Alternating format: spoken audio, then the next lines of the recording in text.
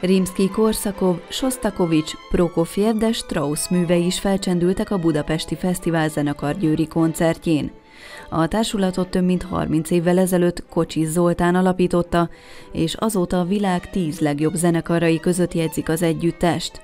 A csapat ezúttal nemzetközi kiválóságokkal lépett fel a Győri Filharmonikus Zenekar otthonában, így Dimitri Kitajenko dirigálta a művészeket, míg Hegedűn Szergej Krilov is közreműködött. Kitajenko nagy vonalú, de a próbán nagy vonalú. Aztán a koncerten ő, ő attól még mindent megkövetel, és, és nagyon jól instruálja a zenekart.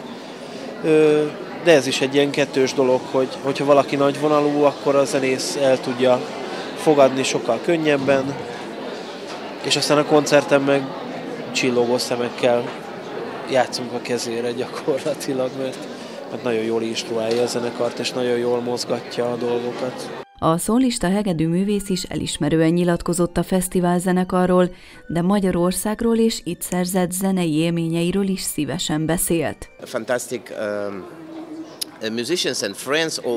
Fantasztikus zenész barátaim vannak Magyarországon. A magyarok általában hihetetlenül muzikálisak és barátságosak, de az ország eleve egy különleges atmoszférával bír.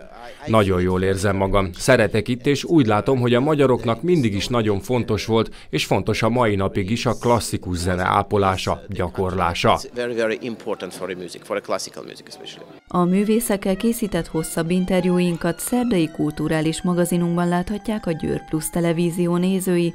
A kultúrából az is kiderül, hogy van-e kedvenc magyar zeneszerzője az orosz hegedű művésznek.